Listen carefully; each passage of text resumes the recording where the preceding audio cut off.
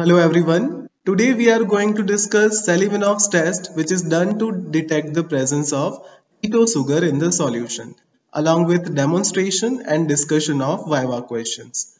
So please watch this video till the end. Seliwanoff's test.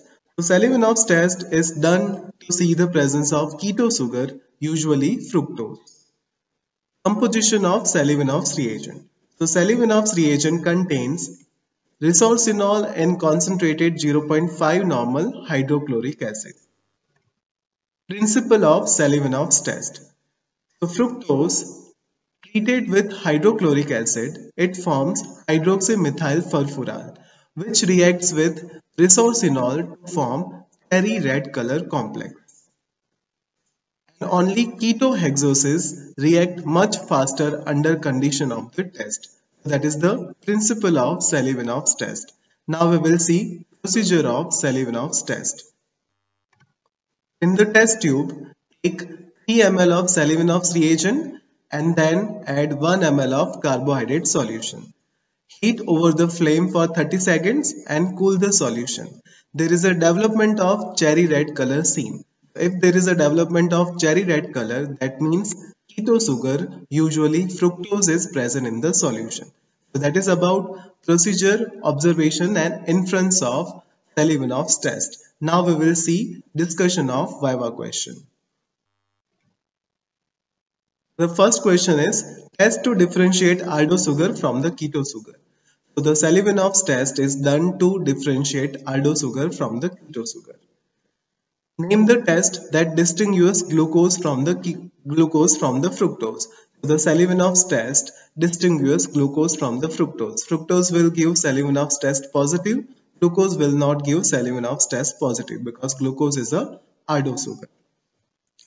Third question is principle of Seliwanoff's test. So we have already discussed principle of Seliwanoff's test that is fructose treated with hydrochloric acid it forms hydroxymethyl furfural which further reacts with resorcinol to form cherry red color complex. That is about Viva questions. Now we will see demonstration of Seliwanoff's test.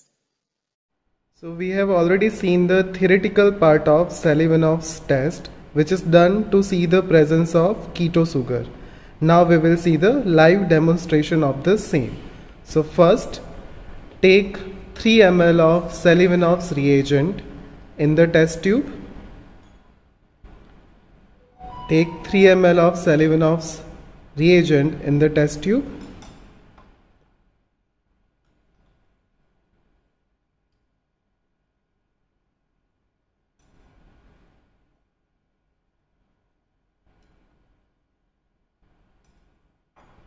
And then take 1 ml of carbohydrate solution.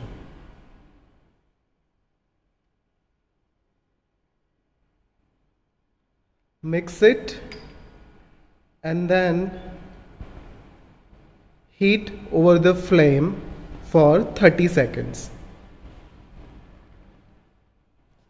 If there is a change in the color that is cherry red color that means keto sugar is present.